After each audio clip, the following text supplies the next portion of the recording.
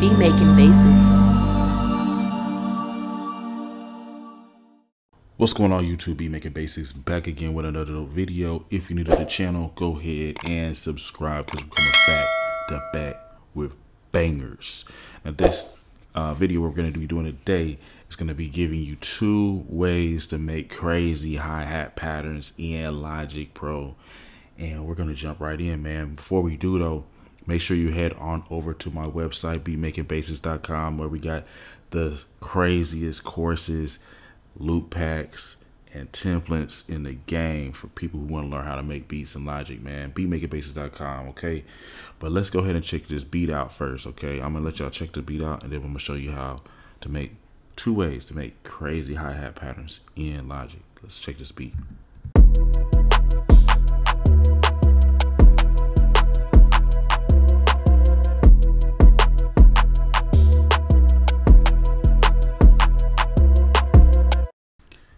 Bet. So the first way we're going to make hi-hat patterns, right, is going to be using the step sequencer. It's probably the easiest way, especially for new producers. So if you click over here with your editor and then go to uh, step sequencer, this is going to be a step sequencer. So I'm going to turn off this basic hi-hat pattern right here. We got different steps you can use, 16 steps, but if you go to 64, what that's gonna do is basically break it down um, in measures. So you feel me? This one is gonna represent one measure. It's the second measure right here.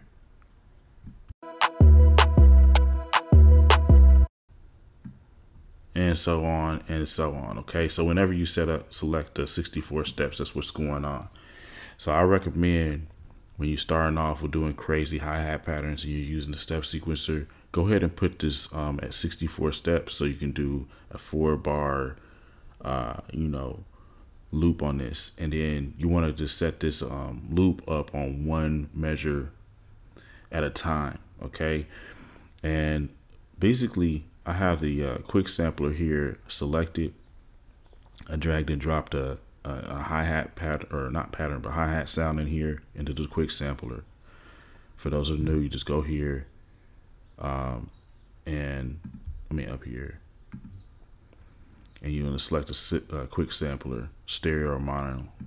And um, drag and drop this, the, the uh, sampler in there. We're to put this on mono. Let's get into it though okay? So obviously when you click in here Every other one is going to be your typical hi-hat pattern. But if you come over here to the far left, drop that down, there's some different options I want you to change.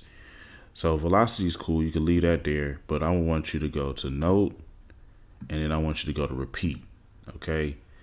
With note, basically you can change the type of cadence of the, uh, of the hi-hat. So we can turn it up, down.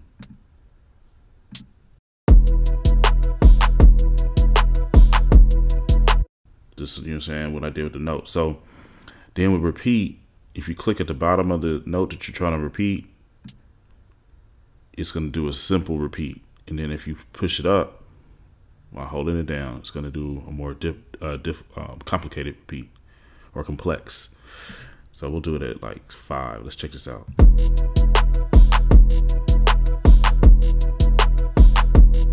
See how simple that was. So now all we got to do is just keep on going here. I'm going to take this bar and click here. Now let's elevate it, okay? As you saw, it's the very beginning here.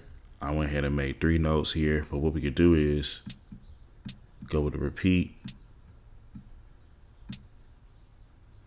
And now we have two, three, and four. And we also can come over here with a note and with velocity.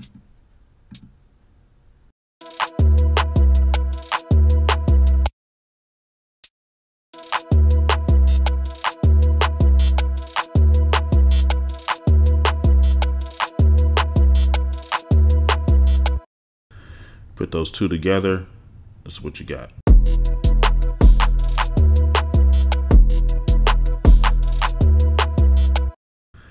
Let's keep on going here. With this third measure.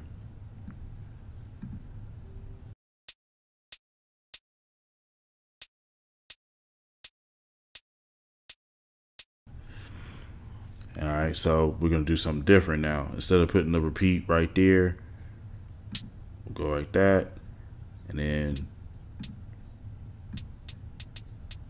do something like that. Let's check it out.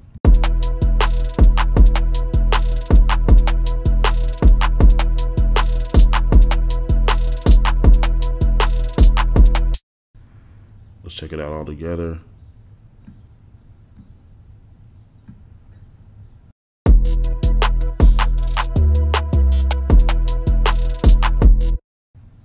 Sounding lit, right? Now we'll go to this last bar.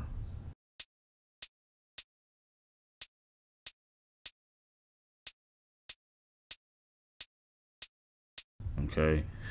And this is what it would sound like without doing any crazy tricks. But what we're going to do is maybe like right here on the third part, do a little something crazy.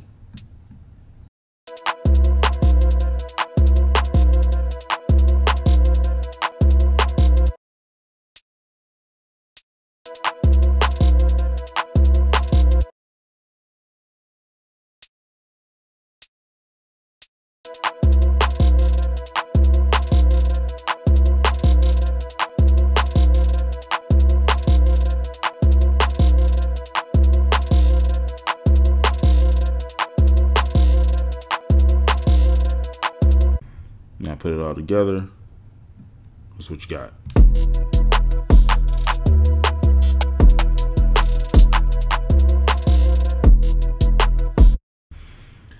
All right, cool. Now the second way we could do hi-hats, crazy hi-hat patterns, is by actually coming in the piano roll, which is probably going to be a little bit more difficult, especially if you're a beginner. But the best way to do this is to go ahead and close all these windows except for pretty much this editor window. And you want to scroll in and just get like right up close to this. If you push command, it's going to create that pencil button. And pretty much you can just start clicking here to create notes. And I recommend starting off simple and then, you know, going from there. And just how I did it with the step sequencer going bar for bar, I kind of I think that's the really the best way to do crazy hi-hat patterns just bar for bar. So the same thing here. All you're doing is now taking this note and creating different notes, uh, note lengths. So I mean, we can break down like what these note lengths mean, but for the most part, you got different notes, right? Like you got this whole note, which is the length of a whole bar or measure. Then you got half notes, half of a bar, eighth note, fourth or eighth of, or quarter note, excuse me, a fourth of a bar, eighth note, eighth of a bar, sixteenth note, sixteenth, and it goes, you know, further and further, further. Thirty second, you feel me? Sixty fourth, uh, one sixty fourth. But anyway, these different note lengths can create different, you know I'm saying, patterns and different things like that. So let's say you wanted to do something crazy, uh, simple. Just take the 16th note and do something like that. And basically what I did is I held down option and drug that over there. If you want to do something even more crazy, just create a smaller note, highlight it, hold down option, and drag it over.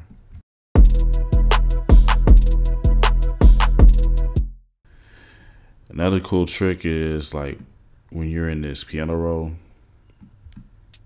you can highlight, say you have this like little pattern right here, you already have some notes. You can push com uh, Command C to copy it.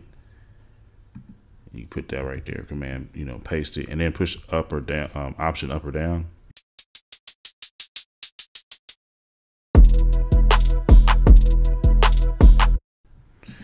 And then you can also do other cool things like come over here to the note velocity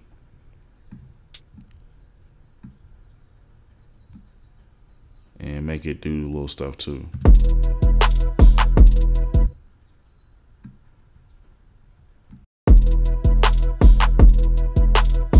That's gonna, you know, determine how like light, you know, soft or loud it is. And then we just kind of repeat the process here basically. And a simple way to do this will be highlight everything, copy, command C, paste it, and then just take this variation and move it around.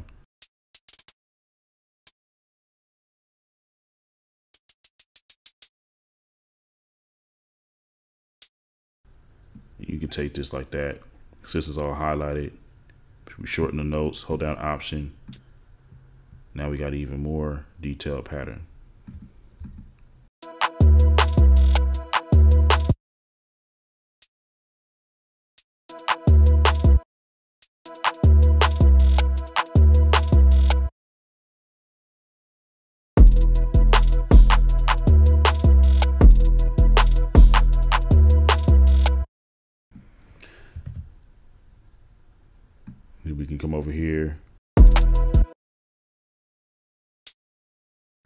Hold on, um, option.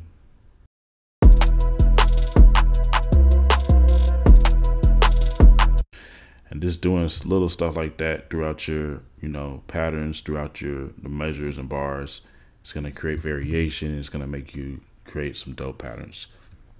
So for the most part, that's going to be the video, man. Appreciate y'all watching. Make sure you go to the website, beatmakerbasics.com. Get the best courses on how to make bangers in Logic Pro online, bro. I'm telling you, we got nothing but the sauce on here. I know the, th the program very thoroughly, you know what I'm saying? I've been using Logic since Logic Pro 8. So you got to kind of know went up through all the ranks logic pro 8 logic pro all the different you know updates then logic pro 9 all the different updates logic pro 10 all the different updates then now logic pro 11 so i really know the software inside and out and um, i know what to use and what not to use what tools are great for beat making what tools are you know unnecessary um, to a certain extent for urban production meaning hip-hop r&b trap you feel me? And also EDM. So you want to make sure that you pay attention to the courses I have on my site, man. It's going to help save a whole lot of time. These videos are going to be awesome. I'm giving you the sauce right here. But when you get the courses, it just is a even deeper breakdown of everything. You know what I'm saying? Um, you know, highly uh, focused content, curriculums, things like that. So want to check out what we got going on, on the site, man. Make sure you also get subscribed to the channel. We have over a thousand videos with tips like this, okay, on my channel. So you can sit here and just binge watch my channel. We also have um, our channel perks, which you'll get to watch videos earlier, quicker than everybody else. Also, sometimes I drop like exclusive content on there. It's only $3 a month. So any price point, whether you, you know, don't have any money, you can watch the videos on YouTube for free. Whether you want something a little bit more exclusive, you can get, you know, involved as on the channel perks, $3 to $5, I think. And then you can go to my site, you know, the courses are anywhere from like a hundred dollars you know, you can get the bundle pack. Comes with every single thing on there for like 500 or 250 bucks. So it just depends on we're running a sale or not. But man, we got this rolling. Appreciate y'all, and I will see you in the next video.